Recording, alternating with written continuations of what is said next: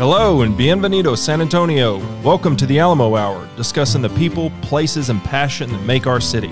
My name is Justin Hill, a local attorney, a proud San Antonian, and keeper of chickens and bees.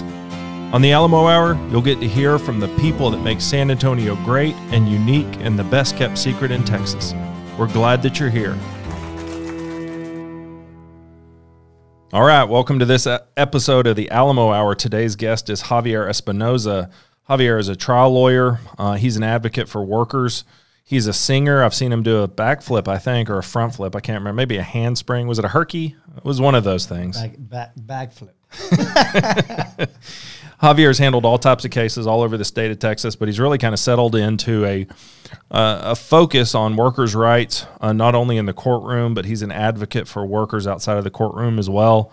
Uh, he's handled some really high, high profile cases uh, here. And if you Google him, you'll see that there's been a bunch of stuff that's gone on in the last uh, year or so that we're going to talk about uh, involving him advocating for the rights of workers, not just laborers, but also people that work in government. So, Javier, thank you for being here. Thank you for having me. Yeah. Um, we've uh, we we did a small little episode for my law firm earlier, so we're ready. We're warmed up. I'm going to start with some color commentary, a top 10 list I do with other people. We're good. How are you doing, Justin? I'm doing great. I'm doing great.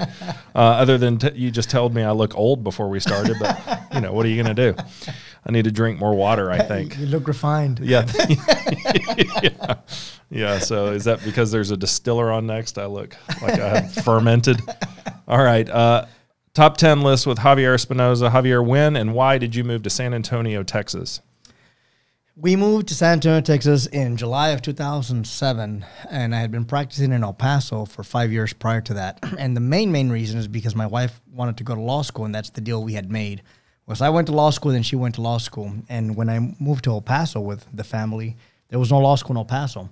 So we had to pick a, a, a landing place, and uh, there was a few options, and San Antonio was definitely at the top of my list uh, because I knew the next move was probably going to be permanent and it wasn't where you went to law school, which is in kind of a terrible town. I'm not saying terrible law school, but Lubbock is, you know, it's not much punkin. I was out there recently. Um, we're all doing our part right now. Um, you know, eat local, help local, support local. Uh, are you doing any restaurants that you're doing takeout from, or trying to help out, or just any that you've generally realized? Oh, I'm I'm frequenting this one a lot. Um, you know, we've actually been cooking at home a lot. Well, I say we, and my wife would kill me if she heard me say we. Okay. Uh, she's been cooking a lot at the house, and You've my kids eating. have been cooking. Yeah. Yeah. yeah, I've been eating a lot, and I, I- it's it's been tough on me. Yeah. Um, we did we did Soluna to go last night. I know that's one of your favorite restaurants. oh my God, we've done that. You know, we did actually fruteria where we did Okay. the uh, to go uh, pepino margaritas, and oh my God, I've seen you there. You know, I've seen you there having those, and you've never invited me to have one with you. It's, you? it's a strange thing. I- will, but have you ever had them? Of course I have. of course. So one of my that- that favorite. is my favorite drink anywhere in the world. Okay. is, is the pepino margaritas from fruteria.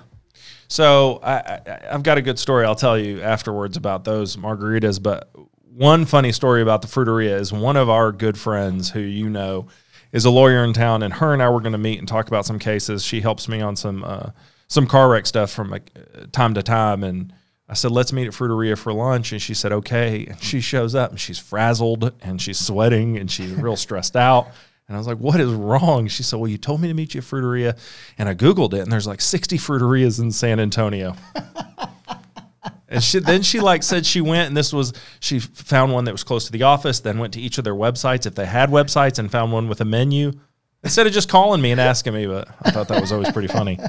Okay, um, hidden gems in San Antonio. Anything that you really find particularly intriguing or nice in, in, in our city that you share with people that isn't the normal tourist trap? Um, I like Costa Pacifica a lot. Okay. Uh, it's a pretty cool restaurant. A lot of uh, Mex- Mexican style uh, seafood. Is it up Blanco? It's on 1604 and kind of by Blanco. Okay. 1604 Stone, between Stone Oak and Blanco. Okay. Uh, uh, it's pretty good. And then on Thursday nights and Friday nights, they have music, uh, live music. So you sit on the patio and have a, a margarita, have seafood, and listen to music. Have you ever sang? Not there. Okay. All right. well, another time.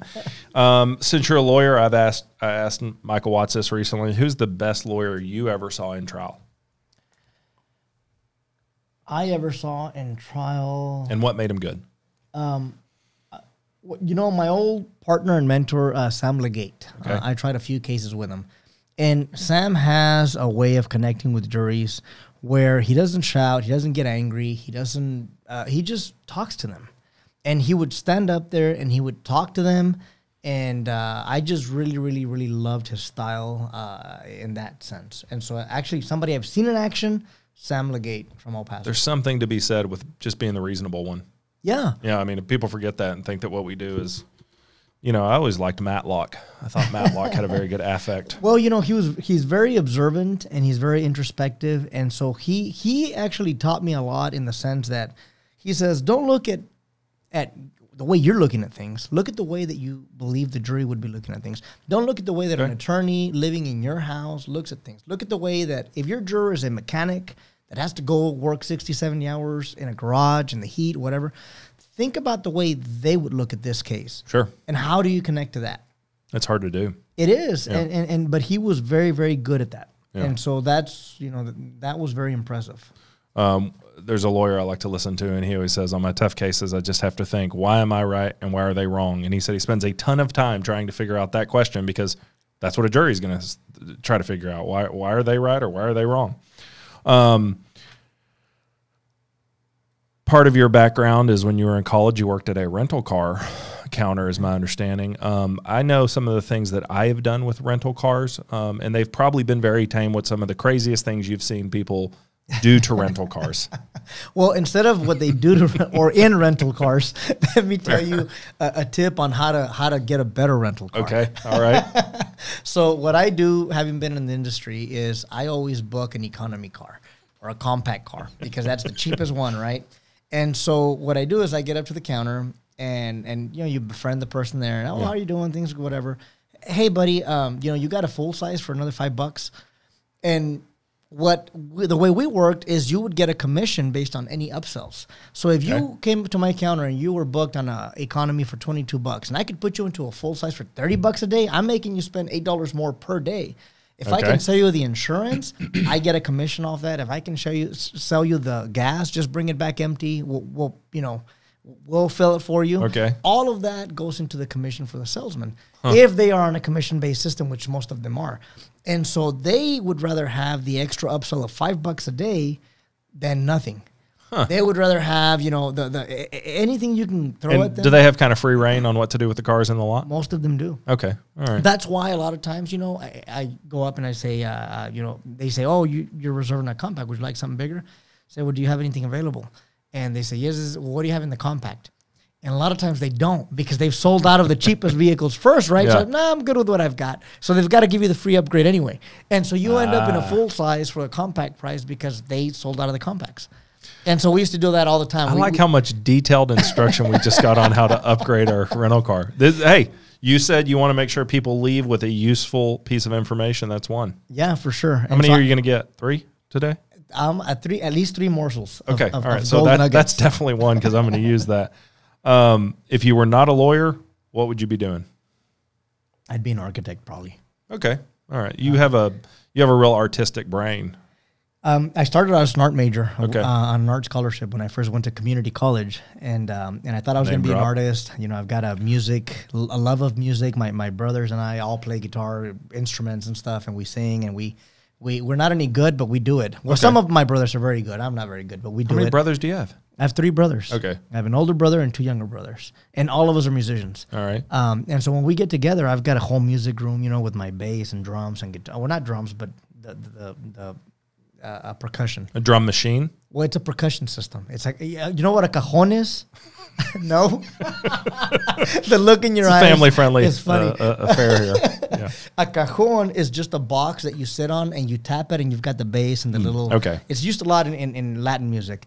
Um, so we've I've got that the cajon, and I've got the the little con- congas, and, Okay. and and so you know I've got the bass, the guitar, the everything. All right. We think we're a band. And so my my goal in life from a musical aspect is to be the guy with a band at Costa Pacifico. when you go on Thursdays and you listen. I don't I don't rarely go up that far to eat, but if you're going to be playing a cajon, I'm going to go. Well, that's that's my goal as far as my music aspirations. Will you have like a, a hat people can put money in? Maybe depends how good we are. All right. Um, this is a perfect segue. Who would you compare your singing voice to? God bless. God bless. I don't know that I can find somebody bad enough.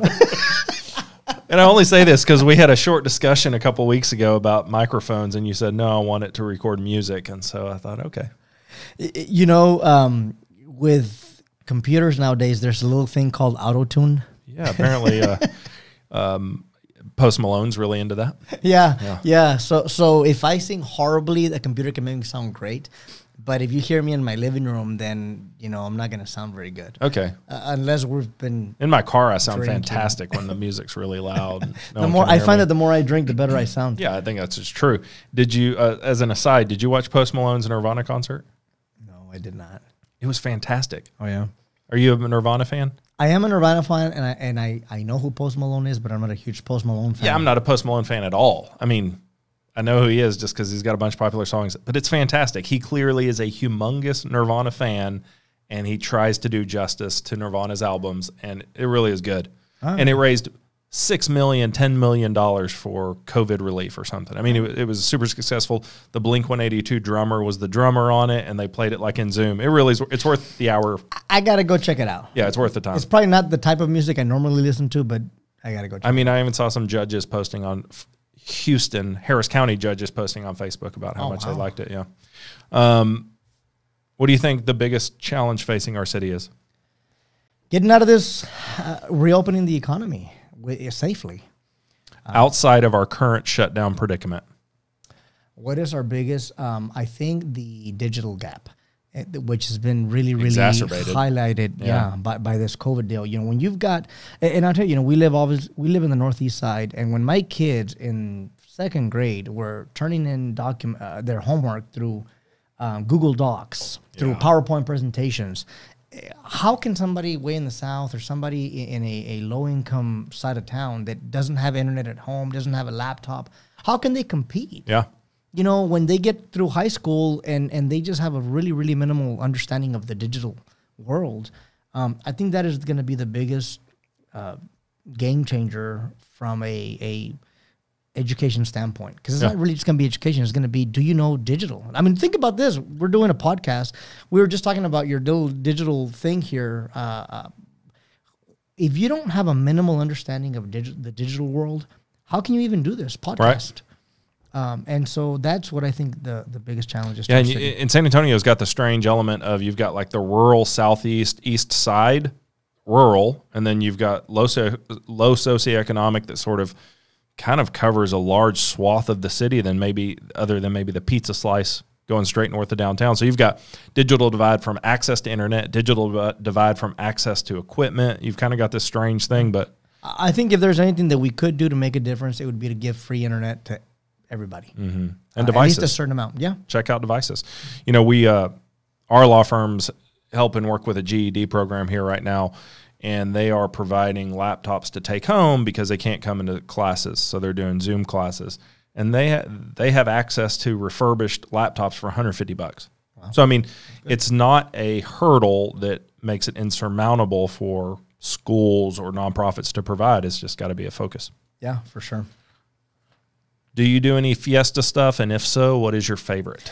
Um, we really only do the King William Fair. Okay. Uh, and, and King William's winning this one by like fifty percent. Oh yeah? Well, I think 'cause it's family friendly. You know, and probably the majority of the guests you've had are have families, and so yeah, I'll, I'll share. You know, when we first got here in 2007, I heard a lot about uh, oyster bake. okay. And so I took my at the time, I guess she would have been seven, um, seven, nine, and ten year old to oyster bake, thinking, oh man, you know, I've heard a lot about it. So we go, and my wife's at St. Mary's Law School, so maybe we'll see her studying there for her finals.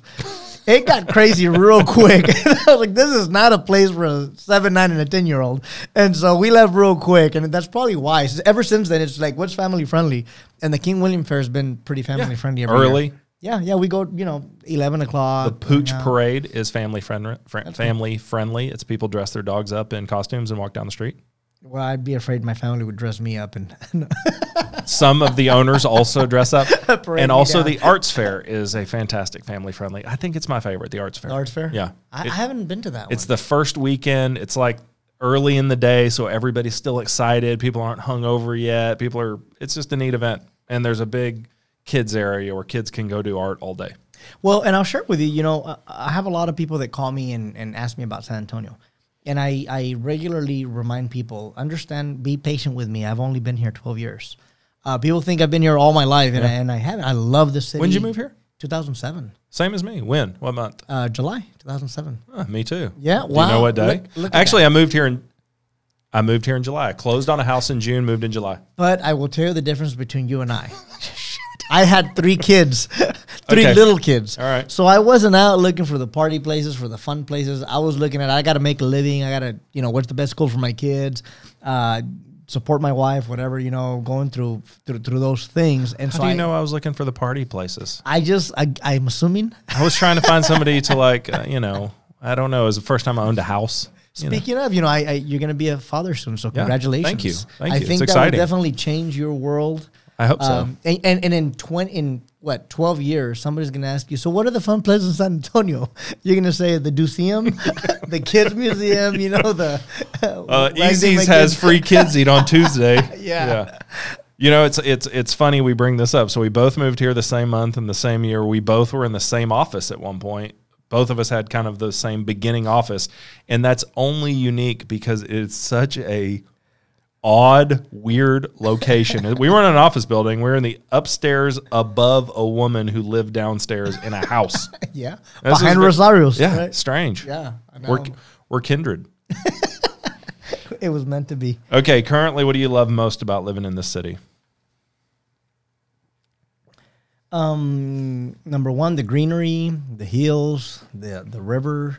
Uh, but more than anything, really just the people, man. The people are super cool. Anywhere you go, you, you, you say hello. You, I mean, you make friends everywhere you Yeah. go. You talk to people. Hey, what are you doing? And what's that? And nobody's afraid of you. Nobody's like, what the heck are you doing? Talking to me? You know, it's just a very friendly Yeah. city. Um, we go bike riding, and before you know it, we've made friends with other bikers, and you know, we go to listen to music at Costa Pacifico or anywhere else, and before you know it, you've made friends with the table next to you, and you're buying them a drink. New Orleans is the only place I've ever been that has that. You make friends just randomly wherever you go. yeah, I wouldn't want to live in New Orleans, but but it sure is. but it's that has that it has that feel. People, everybody's friends. Yeah. Well, and that's the other thing, you know, you go to New Orleans, it's got a very unique culture um, to New Orleans that is very different from anywhere else. Yeah. You come to San Antonio, it's so unique. You know, you go to El Paso, Dallas, Austin, Houston, the, the bigger cities, none of them are like San Antonio. What did Mark Twain say that there are only four unique American cities, and I think it's San Francisco, San Antonio, New Orleans, and Boston. That's what Mark Twain said. We're the only unique American cities. I don't disagree with him. Yeah, I mean, I've never been to Boston actually. I, I have. Okay. And it is a very cool city. Yeah. Um, um, all those cities are cool. Uh, uh, although I don't know that I agree that it's such a unique culture. It's definitely different, but it's not Maybe in Mark Twain times, hundred years ago, it probably was very different. true. Yeah. True. But San Francisco, is there's nothing like San Francisco. If you've never seen the fog racing into San Francisco and think, "Oh my God, the city's on fire," because you just have no, there is no way to describe what that looks like if you're watching it come in. It looks like a, a fire's overtaking the city, and it's just the daily fog. Oh, it's awesome. And to ride to the trolleys, you know, Yeah. to go over the Golden Gate Bridge to Sausalito, that's it's it's a it's a definitely a very unique. Although I, I still my favorite city in the world is New York City. Okay, Um, have you? I'm sure Yeah. you've gone there and been there a bunch of times. Yeah. But um, New York City to me is is the the best city in the world, and a big part of that is the multiculturalism that Sure. exists in New York City. And even that, you know, to, to say about San Antonio, I love San Antonio, the Hispanic culture in San Antonio, but I do wish it was a little more diverse. Um, like Houston. Yeah, you I mean, know, Houston's super diverse. yeah. I go to Houston, you know, you go somewhere, you may be served by a Peruvian and a German, and, you know, it, it's so diverse. And here, it's very Hispanic or white. Mm-hmm. And I, I love our city, obviously, and I love that it's Hispanic. But I was raised in Odessa, Texas, which was very, very conservative, Republican, Anglo, and very minimal Hispanic when I was there. Now it's it's it's a lot a, a majority Hispanic uh, uh, town. Even Odessa was that white. Odessa was very white. I mean, I would think Midland, but No, Odessa was very, very white. Yeah, it was a lot of oil field, and and and uh, it was very, very um, difficult growing up there. To be honest with you. I'm sure. Yeah, you know, being an immigrant, uh, I didn't speak any English when I started school, and my my teacher, Mrs. Gaines, was an Anglo lady that didn't speak any Spanish. Uh, I And there probably was no ESL program then. no, not at all. I spent a lot of times in the corner, um, you know, reading, uh, drawing, and coloring. Which, thank God, because it taught me a lot of art skills. well, so I, and I want to ask you about that. Um, I told you before you'd be on here, I was going to read everything in the sort of public realm about you, which uh, surprisingly there's a lot. Uh, there's quite a bit about you and your upbringing out there. But um, and and you've brought it up. you were born in Odessa. no, I was born in Juarez, Okay. Mexico. All right. Um, talk about when you went to to to Odessa, growing up in Odessa, and that is a very unique American experience. But it is not unique to Javier Espinoza. It's unique to a lot of people, but people like me have no way to relate to that because the system speaks English. You know. So talk to me about living in Odessa and and learning English, sort of in that system where you've got to feel kind of like an alien. So so let me back back up a little bit to give you an interesting fun story. Yeah. All right. So the way that we came to the United States, my family with my dad, goes back all the way to the Mexican Revolution. So my, my dad is uh, was from a little ranch down in Jalisco, Mexico, um, uh, Huacasco, Jalisco, tiny little ranch. My great great grandfather uh, fought in the Mexican Revolution, and he and a fellow a few fellow re- revolutionaries took over the haciendas and they you know they they killed uh, it's my understanding they killed the hacendados and they gave all the food to the people and they did what the Mexican revolutionaries were doing. Yeah. So the federales started chasing them, and so he packed up his little stuff and they headed north and they went all the way to Denver, Colorado. And they had my grandma. My grandma was born in Denver, Colorado when the Mexican Revolution's over, everything cools down. They go back down to the little ranch. He has a little truck, and he you know, has So from mill. Denver.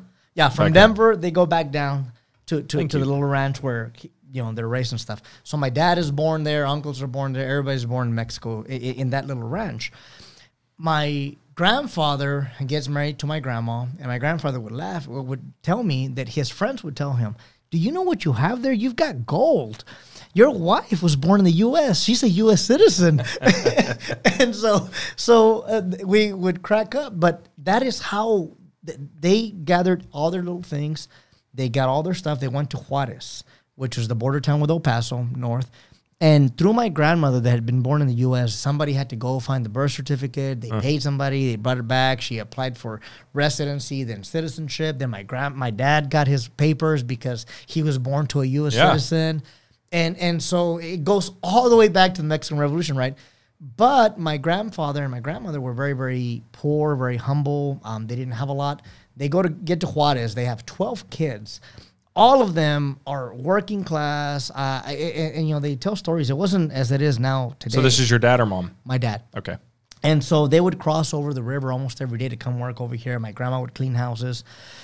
So even though they could come to the U.S., they were still living in, in, in Juarez when my dad started, you know, becoming of age. And my dad was actually a very good soccer player. We have newspaper clippings of him playing for the state of Chihuahua. He was like a little star. Okay. And uh, he sold drugs for uh, not not drugs. He sold let me pharmaceuticals, truly pharmaceuticals. Let me rephrase PEDs? that. No, no. To the soccer team? no, no, no. True They were all 220. it was the National Association of Drug, whatever, and he would go to the different pharmacies, and he would Okay. sell the pharmaceuticals to the pharmacies. Did very well, um, but he would tell me, he says, you know, I, I looked at my life, and that's when I had you, and I had my my older brother who's three years older than me, and he says, you know, I looked at my life, and I thought, I'm never gonna get anywhere. And I would look at friends that would go to the north and go to the U.S. and I would see them even working in construction that were doing better than I was Yeah. doing in a suit, selling you know these pharmaceuticals. So he and my mom decided to cut him to El Paso. We moved to El Paso when I was four years old, and uh, we stayed there a few months. And then uh, my uncle drew him over to Odessa, Texas, where the oil boom was going on.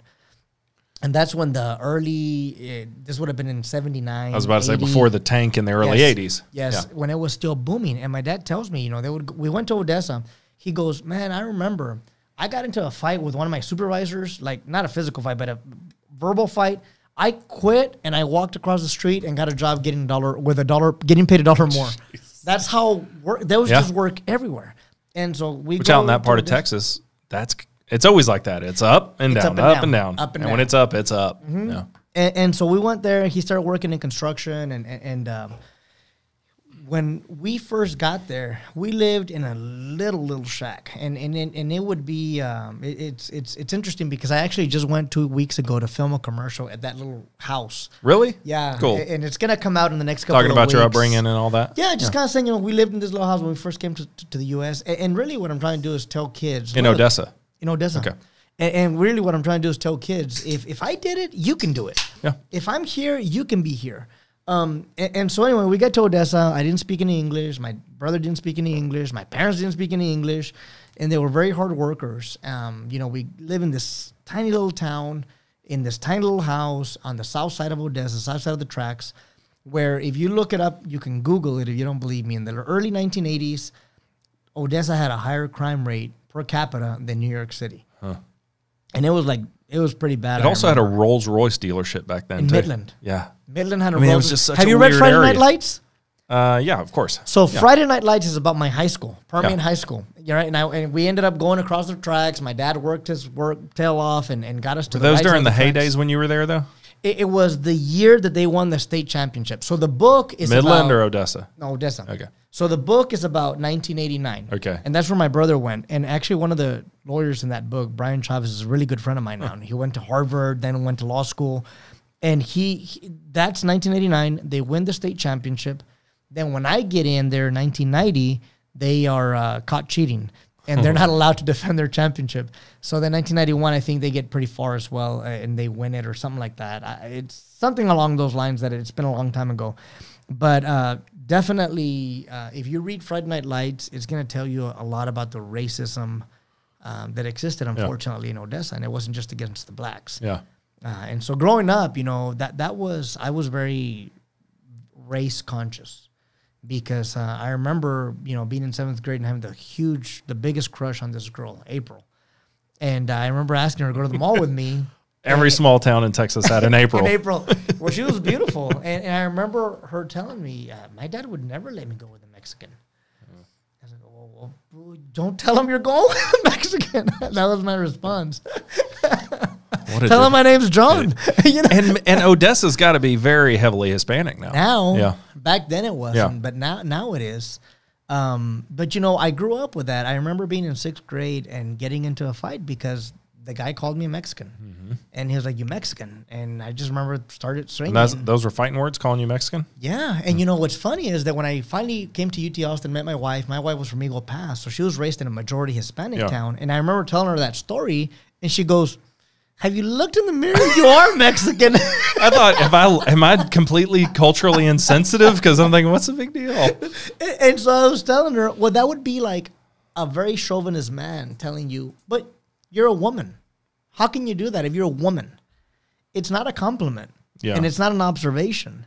And so for us, you know, it was definitely a put down to be called that. Sure. Yeah. Um, so, so anyway, you know, growing up through all that, uh, uh, you know, seeing my parents struggle, seeing my, my older brother got married at 17, um, had a was a father by 18. Um, the goal for us growing up was if you can finish high school, you've made it. Yeah. You know, you, you, you graduate high school, you've made it. Um, a- and, so kind of growing up in that, you asked me at the very beginning, how'd you end up in San Antonio? And I told you the, the, the elevator version. The real version is this when I was in high school, I had absolutely no plans to go to college because once I graduated high school, I'm done. Yeah. But I always did well in school. I was in honors classes. I loved to read, and, and I just enjoyed school. I love learning. But I remember coming home one day and being, you know, sitting there watching the news with my dad, and I saw this good looking, articulate, smart Hispanic named Henry Cisneros. Okay. And this guy is talking, and the mayor of San Antonio, and he's saying, Was he I- the mayor then, or "Yeah, HUD? he was the mayor Okay, then. right. It was before the whole blow up, right? Yeah. It was, it was- he's but he was HUD also, right? Well, it was HUD Under after. Clinton? Yeah, yeah, Okay. he was HUD under Clinton as well. But when I saw him, he was mayor, and, and I remember looking and thinking, "Holy cow! A Mexican can be a, a, a mayor of a, of a major city." Yeah.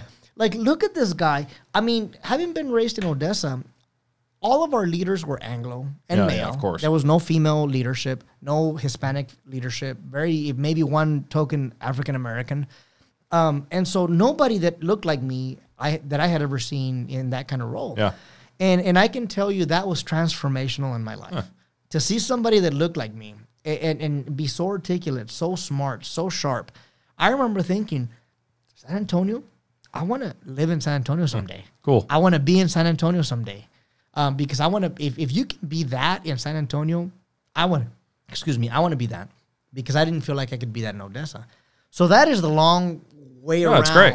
that I and little did you know at the time, like, I mean, we've been through a series of Hispanic, African American, female, Jewish, white. I mean, w- our mayor, I mean, really, it, it's surprisingly has run the gamut in all kinds of uh, diversity contexts. Which I is the best way great. it. Yeah, it is great. That's why I love San Antonio. Because if you go and Google how many mayors Odessa has had, what about El Paso, though? El Paso was pretty Hispanic, but even in a oh, uh, El Paso was probably about ninety percent Hispanic. Yeah. But even in in a ninety percent Hispanic town, when I got there in two thousand two, as an attorney, the main firms were were Sherla Gate, Mounce Green, Meyer, Safi, and Galatzan. Uh, Ray Valdez, Christian and Jeans has some Hispanic names at least. Uh, ScottHulse, But that- that was Jeff Ray's firm, yeah. yeah. And and so even in a ninety percent Hispanic town, the majority of the firms were not Hispanic or not owned by Hispanics, Yeah. not not led by Hispanics. Well, so many lawyers come about being a lawyer because it's a family thing too. I, th- I think that's less our generation, but I think the older generations, it was, oh, your granddad was, and now your dad is, and now you're going to be, and I think that probably fed a lot of that El Paso stuff.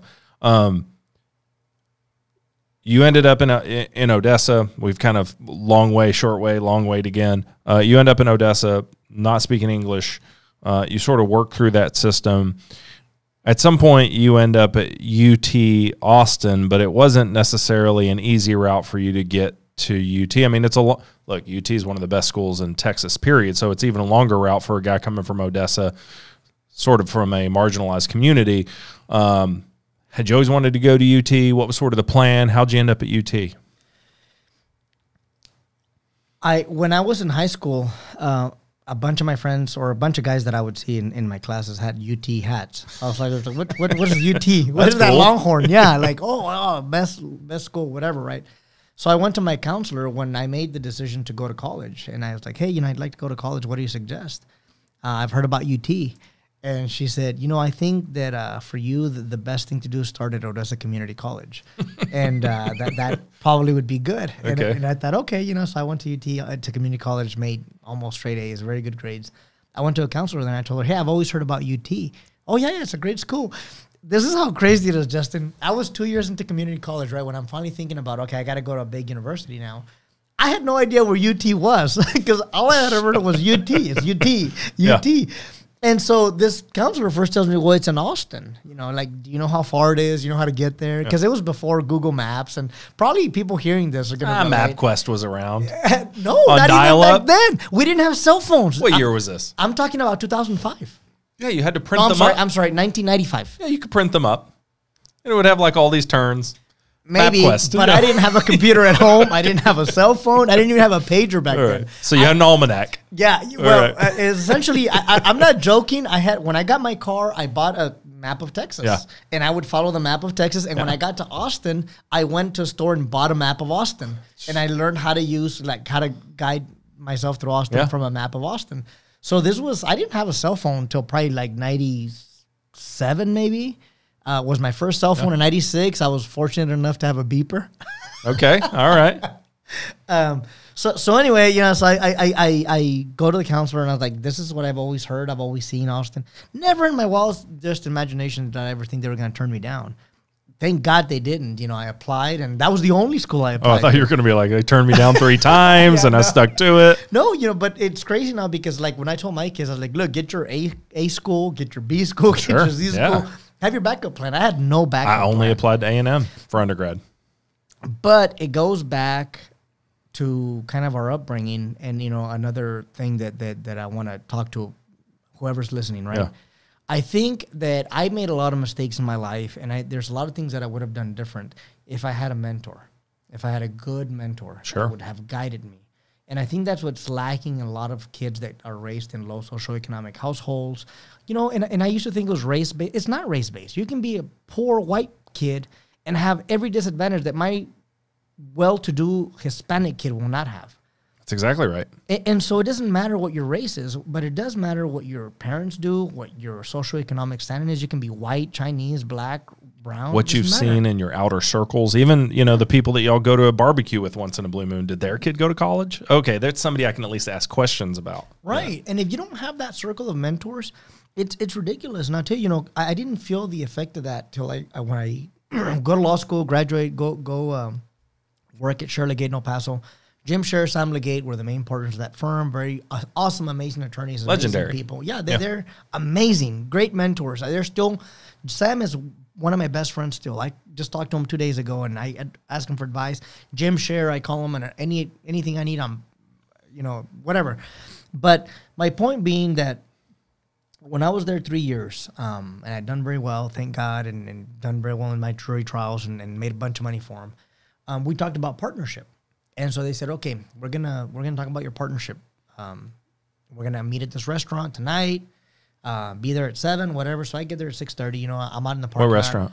Uh, it was the Greenery Okay. at, at Sunland Park Mall. And, and I still remember that it was raining that night because I was sitting outside my vehicle and I'm just sitting there. And I got there 30 minutes early. I'm super nervous. I've never been in this situation before. Sure. So I pull up my flip phone at the time. A Razr. Something like that. Yeah. It was a Samsung or something. So I, I pull up my flip phone and I start going through my contacts and I want to call somebody. Like, who do I ask for advice? Who do I ask for advice?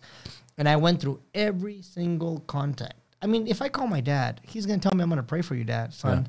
But he can't give me any advice. Sure. He's been a construction worker with a ninth grade education all his life in this situation. And and I remember going through, and the only two mentors in this new world that I had stepped into were sitting in that restaurant, or were going to be sitting in that restaurant. And um, and because of that, I've learned the value of mentors. Yeah.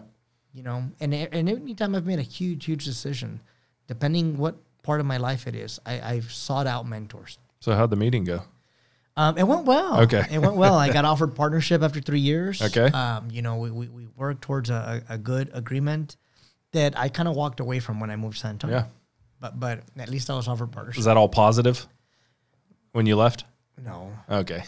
well, that's part of the deal. Yeah. Okay, so I don't. feelings. We could talk about sort of how you got to where you are a long time, but I think it's really important. You said you you're even considering starting maybe a podcast or some sort of uh, question and answer for people that want mentoring, something that just sort of opens up the possibilities for people that have that phone with no names in it, right? Yeah. Okay.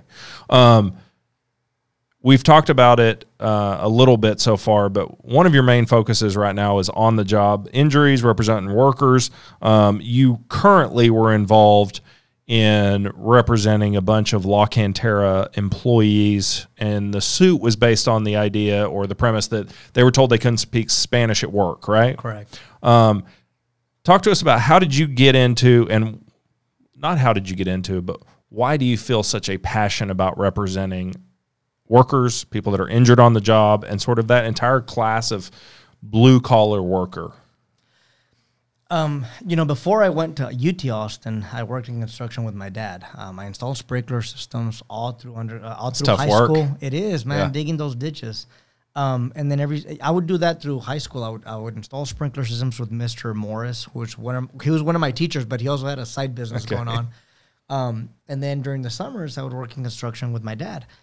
And I just remember working in Midland at these really high end, you know, uh, buildings and walking into the elevator and then having these people in business suits walk in, you know, these very nice looking ladies smelling very nice. Well, they walk in in their nice business suits and my God, the way they would look down on us, Yeah. the way that they, that just that feeling was horrible, horrible. Or we'd be working, you know, we'd be working in a building and painting or whatever we're doing. And then my dad would tell me, "Wait, wait, Mijo, here comes the here comes the, the owner, here comes the boss or whatever, you know." And and my, I remember watching my dad go to the corner and just kind of put his head down. And so I would do the same. I'd go over there next to him and I just kind of put my head down and look at the people, inspect our work, and do whatever they're gonna do. If they addressed us, we would address them. If they didn't address us, they'd just walk out and wouldn't even acknowledge us Jeez. and and growing up with that and finding when I found my voice and I found who I was and I kind of got a little bit of self confidence, uh, I remember thinking like that's bullshit. Yeah. You know, why are you treating people like that? Why are you firing them because you don't like whatever? You know, because they told you something's wrong and, and you have the right to fire them. You abuse them. You you, you don't follow the law. Um, and so when I went to work in El Paso at Shirley Gate, I started seeing a lot, some of those workers come in. And I remember I wasn't very passionate about the other kind of work, but when it came to workers being abused in any way, shape, or form, man, I would see them and I would see them sitting there, and, and I would see my aunt Alicia. I would Yeah. see my dad, Jose. You know, I would see my uncle Alfredo. And I would think, I would never let anybody talk to my dad the way this guy's talked to them. I would never let anybody talk to my uncle the way that this guy has been treating him. And so I really, really became passionate about fighting for these Yeah. workers. Uh, because Personal the- connection. Yeah, because at the end of the day, man, all they're doing is they're trying to make a living for their kids. They're trying to bring home a paycheck so they can pay rent, so they can pay their cars, so they can give their kids what we don't have Right. or what we didn't have growing up.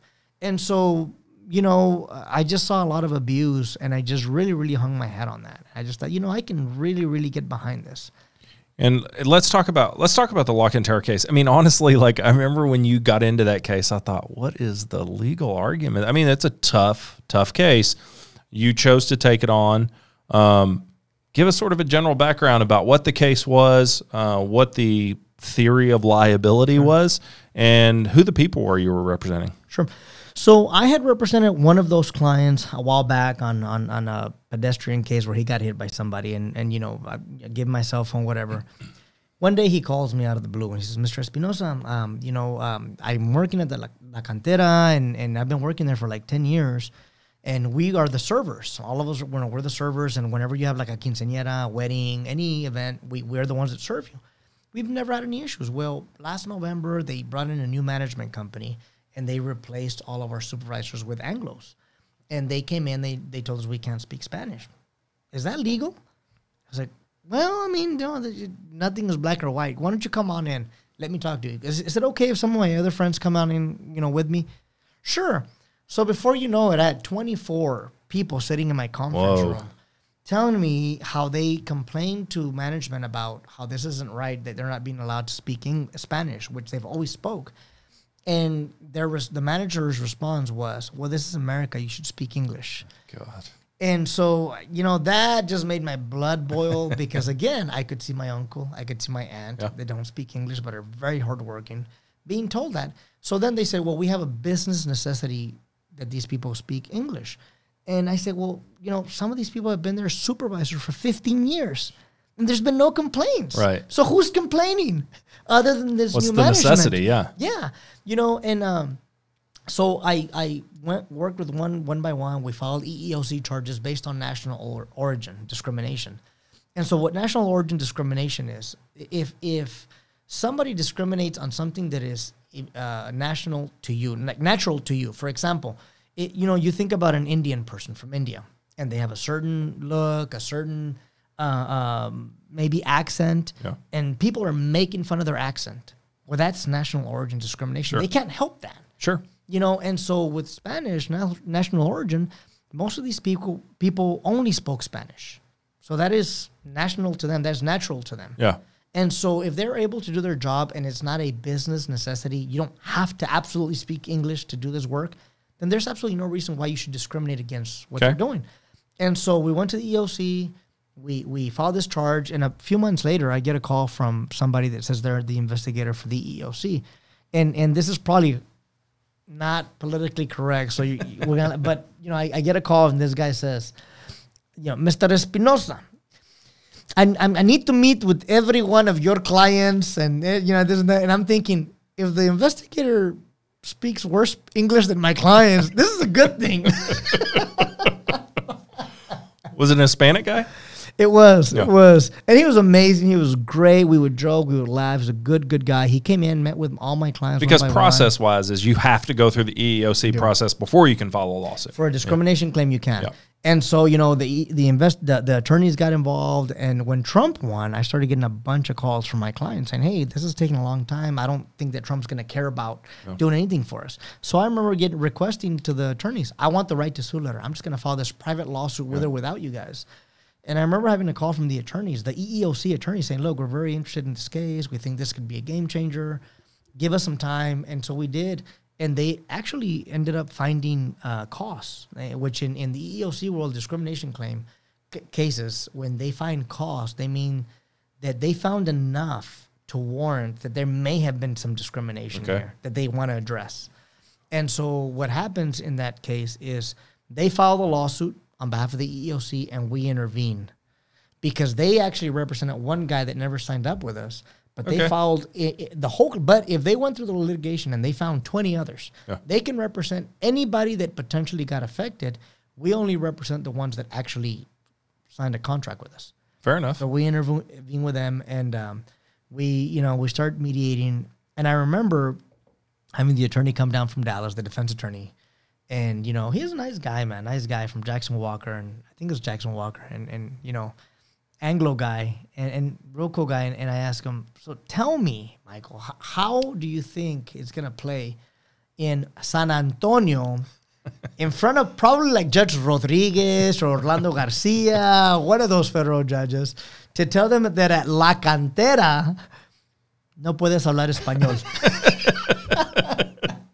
and he did exactly what you're Did doing. he get it? He just laughed. Yeah, okay. He laughed and, and, and he got it. He got it. So y'all got paid well. yeah, we Yeah. went round and round. It was public. and- Yeah. yeah, yeah, yeah. It's 2.6 million. Yeah. So essentially, they were discriminated for about six months because as soon as we filed the EOC charge, it changed, and that management company got fired. I mean, they went above and beyond to, to make changes. But for Which good for them. yeah, no, it was great. It's it's a much better outcome. Yeah. And, and and you know, part of the settlement is they had to pay each one of my clients a lot of money, and then they they also are being supervised for three years by the federal government. Is that right? Yeah, they have Wow, to have all you, these changes. They have to implement training, diversity training, all kinds of things that that, that have really made an impact uh, on that business. And by making an impact on that business and making it so public, I think it's made an impact on the community. the nation. I mean, if the feds have shown a willingness to get involved in that, that's going to make everybody think twice before they do that. Have you had any other calls from people going through the that same sort of, hey, my job is telling us we can only speak English? I I have, um, and you know, the difficulty with these employment cla cases is you've got to have some pretty hard evidence. Yeah. And so if if my client says, "Well, that manager told me I couldn't speak Spanish," and the manager comes in and says, "No, I never did. I never said that." It makes it's a he said she Yeah. said, and it's very difficult to. And in La Cantera, was there documents or is just 25 people? no, there was write ups. Oh, God. We had two or three of our clients that had write ups speaking Spanish in the big room. Shut up. I mean, yeah, write ups. We had emails. We had a big HR meeting where like all of them testified. The ones that were there. Yeah, I remember the manager saying that we should learn to speak English because this is America. Uh, I mean, it was like hardcore evidence. Where did this management company come from? Uh, Colorado, Denver, Colorado. Huh. Isn't that Not crazy? here. Yeah, no, crazy. They- And they're gone. They're they're no longer here. Um, and that was that was all over the news. And I remember being super happy for you and super happy for your clients because that's a that's a big structural win. It's a systemic win, I think, for workers across the board. Um, And the for other, a little kid that didn't speak English going into elementary school, it was a, a definitely a highlight of my life. Yeah, it has to be like real vindication. Yeah. Like, I mean, there really has to be this. I was marginalized as a child because I didn't speak English, and here I am getting two point six million dollars for a bunch of people because they can't speak English. I mean, it's fantastic. Um, you also, I don't remember if there was a lawsuit involved or something, but you injected yourself in city politics or county politics recently. Um, basically related to the wages for interns or for uh, council staff. I can't remember what it was. What was that case about? So it's not necessarily a case yet because it's not been filed, but it was. Um, I had a few, uh, a lot of them actually, uh, city council staff come and talk to me about um, their wages. They were being paid very different than city employees. They they and so so here's the setup as I understand it. And again, we haven't filed a lawsuit, so I don't know 100 percent right. So please Let's talk about what's in understand the news. Disclaimer. Yeah. yeah.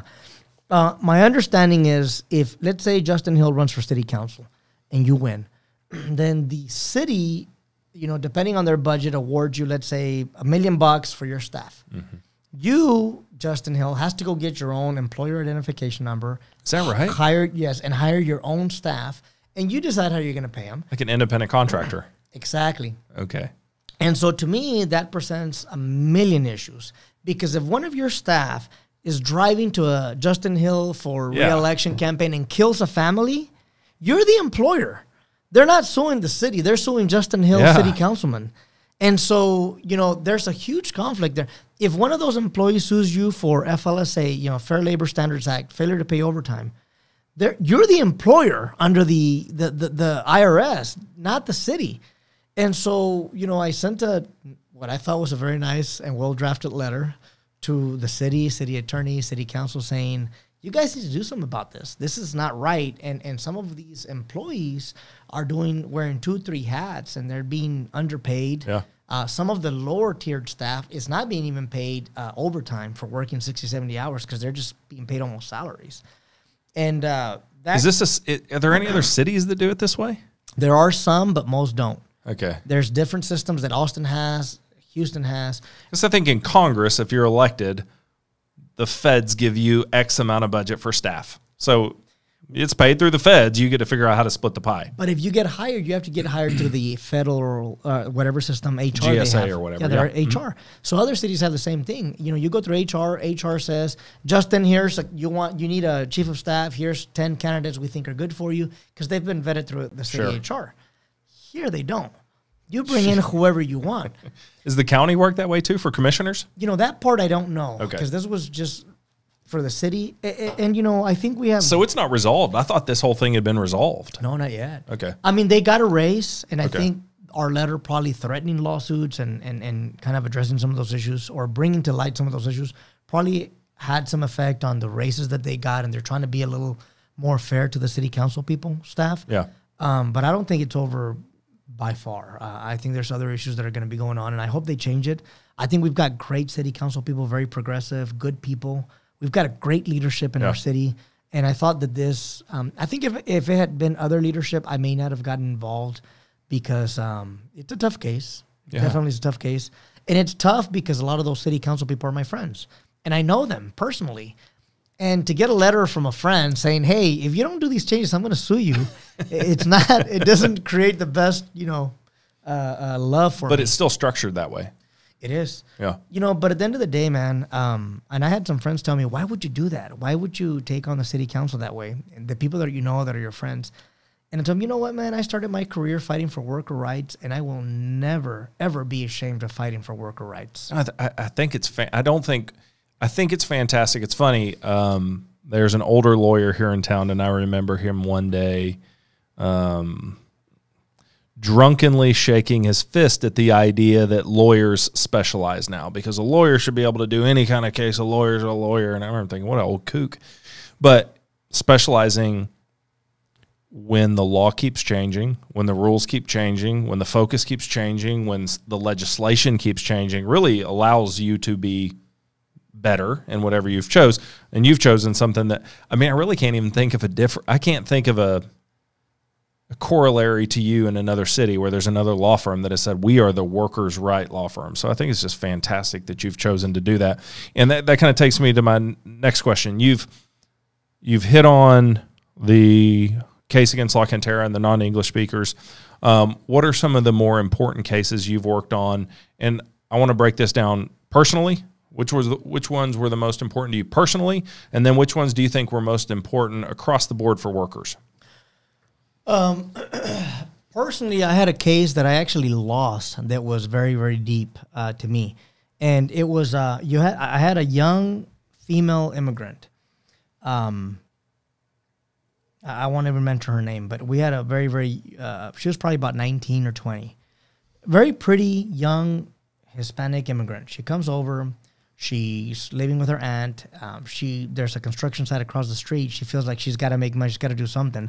So she walks over across the street and to this construction site and says, "Can I be an assistant, a helper? I'll work, whatever." So sure. Of course, they see her. Yeah. So they start having her pick up trash, right? Well, pretty quickly the superintendent see, puts an eye on her and and starts saying, "You know what? I need I need a personal assistant. Why don't you come with me? Help me out." Well, she's sitting in the truck where he's taking her everywhere, he starts putting his hand on her thigh, takes her to his house, uh, shows her pornography, and uh, she's just trying to get away. He starts making all kinds of advances on her. Really, really does horrible things to her. And she comes to me and, and she says, you know, this is what's going on. Um, you know, can I, is there anything I can do? So I draft a letter for her and say, you need to take your hands off her. Yeah. She gets fired.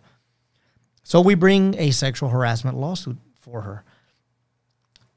She's undocumented. Um, in her deposition, we have two attorneys because I sued him individually. So he had an attorney and then he, I sued the company. And they start asking well, what's your name? Well, how do we know that's your real name? Well, what's your social? Well, where are you from? You know, all these. So I just started her not to answer about her social, her citizenship status, her uh, social security number, Sure. nothing like that. And um, she had provided a Mexican ID, which should have sufficed, but this was before the Texas Hughes case that came out of the Texas Supreme Court.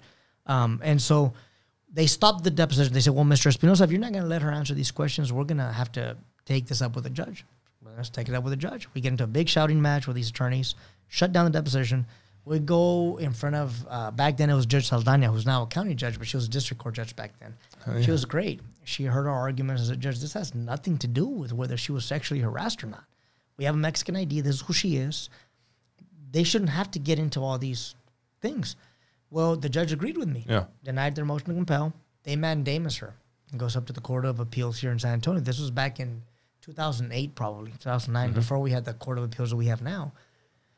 And they agreed with the defense. They said she has to answer who she is. She's got to identify herself because how do we know she is who she is?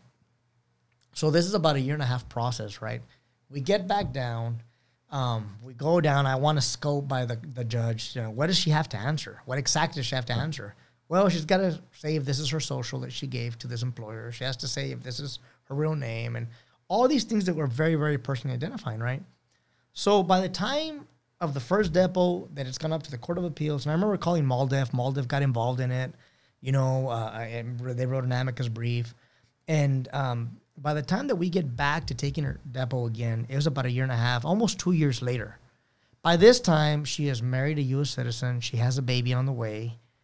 And she tells me, I'm trying to get my residency. Like, I'm trying to fix my Yeah. papers. Is this going to jeopardize my ability to do that? I, I couldn't tell her yes or no. I was like, I don't know. I don't think so, but I don't know. It's your call. So she came in one day with her husband and writes me a letter saying, I am instructing you to dismiss my lawsuit um, because of the fear she had Yeah. of, of this. And, and if I could only tell you the horrible things this man did to her and got away with it because she was undocumented, um, that is a case I have never forgotten.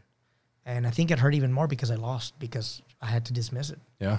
Um, you know, and, and just to know that somebody abused this poor worker, this poor lady that is trying to find a better life for her kid and for herself and for, for her family, um, to be t- abused this way and to be to get away with it, man, just still burns me inside.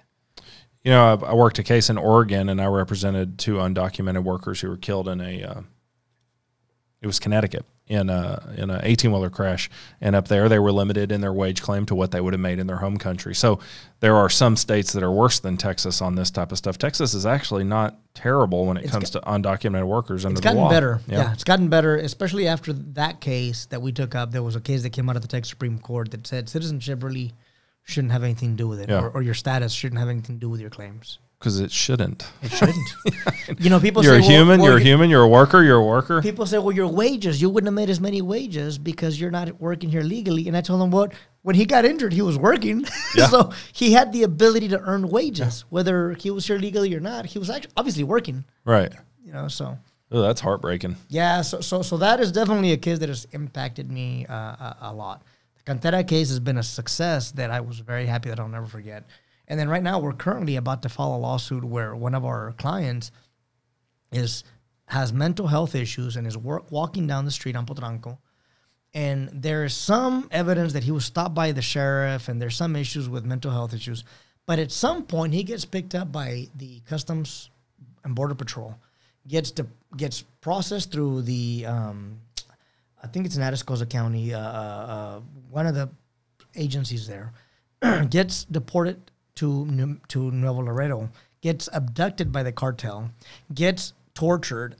The parents over here get the FBI involved. After a week, they finally release him and he gets sent back. Thank God he's lived, but he's got mental I- issues completely from that.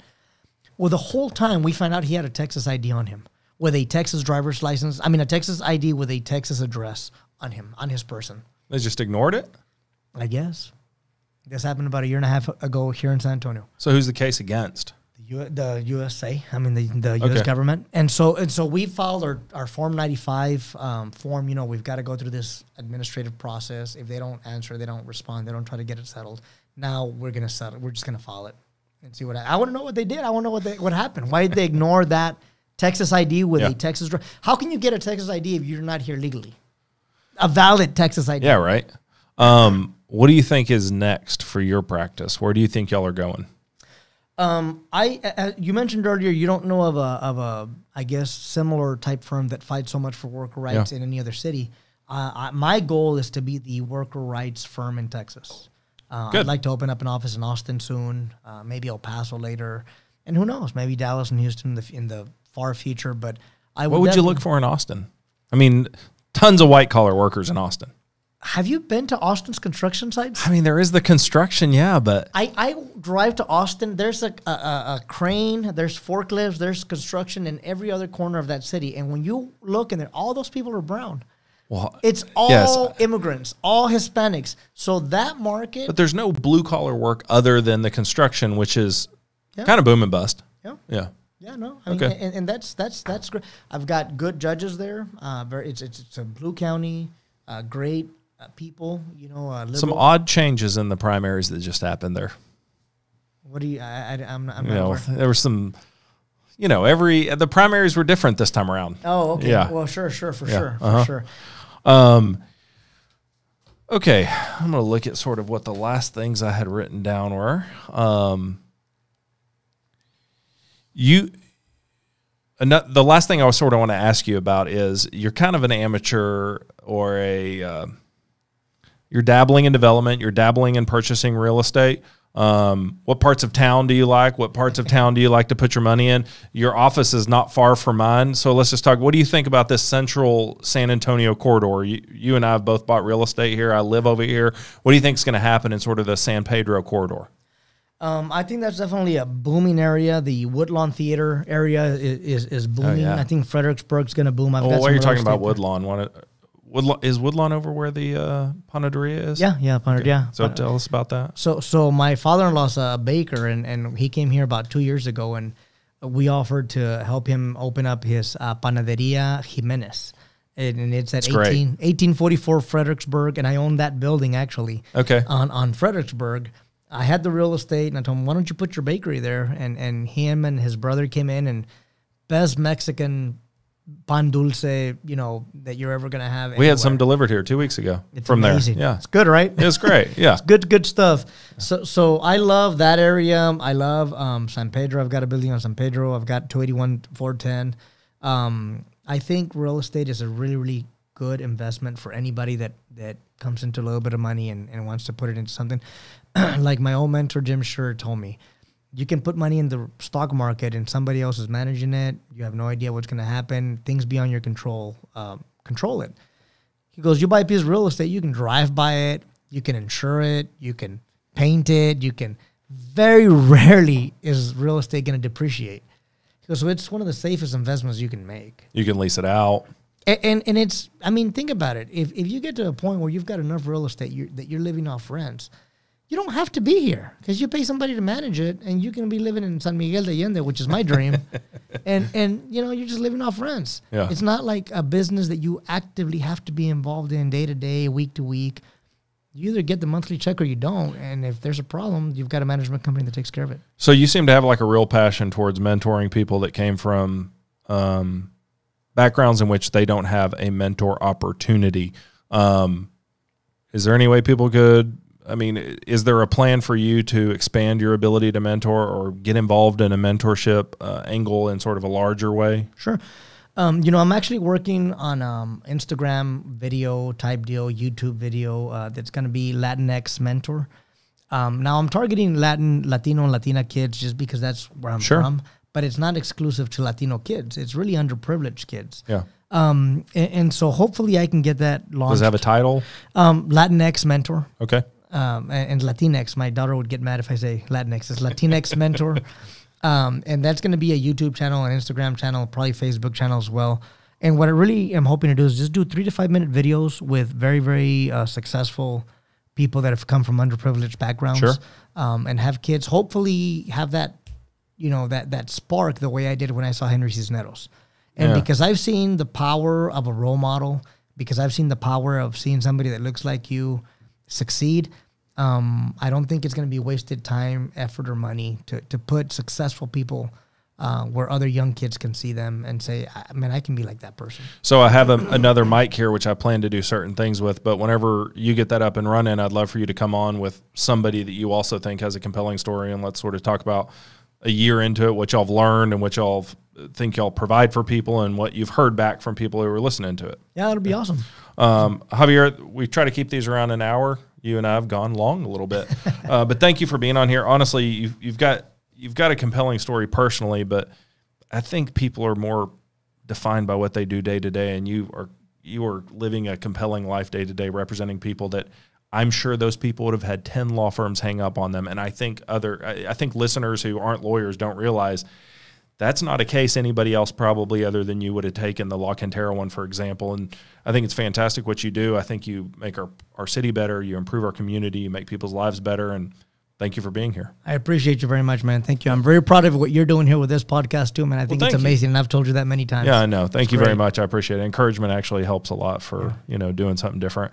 Uh, so that's going to do it for this episode of the Alamo Hour. Uh, big thank you to Javier Espinoza. We're going to have this up. We're going to have more information from him when he has his Latinx and Latina-X uh, mentor program up. We'll post that on our website as well. Uh, you can learn more about Javier and his law firm at www.espinozafirm.com. All right. Uh, join us on our next episode. Uh, our guest wish list continues. Right now, we've got Coach Pop, who I think is probably never going to get off the list. Uh, Shea Serrano, Ron Nurenberger, Ron Nirenberg. So if y'all know them, tell them to come on the show. Uh, Ron, I've you know we we talk about it, but you haven't pulled the trigger yet. So come on. Um, thank you all for joining, and we'll see you on the next episode.